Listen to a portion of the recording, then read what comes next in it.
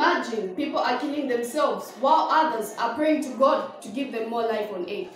Life. Life is the state of being alive. Our Creator tells us to say, life is more precious beyond our imagination. Life is worth more than anything in this entire world. No matter how rich a man can be, life can never be bought. Do not think that life is cheap. If life is cheap, have you ever bought one?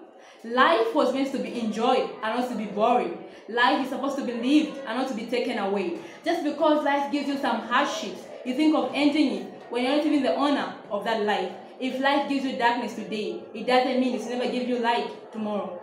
nakasuba efyo kaaba kalengila n'okufuma lyonse e life yapachalo life is a mixture of joy and sorrow but you should be stronger than pain. When you feel down and like giving up just pray to god to give you strength because our god is the one who gives strength. Remember remember mango taipila pamo. If you don't make it today you make it tomorrow Killing yourself is not a mistake, but a sin. A sin to both humans and God. Other people each day wake up and pray to God and thank Him for the life He has given them. While others, when they fall sick, they pray to be healed. Who are you to take your life? suicide is not a solution but a distraction a summary ya poem My name is Lombanya M. Dini. and my name is Beauty Namkoko.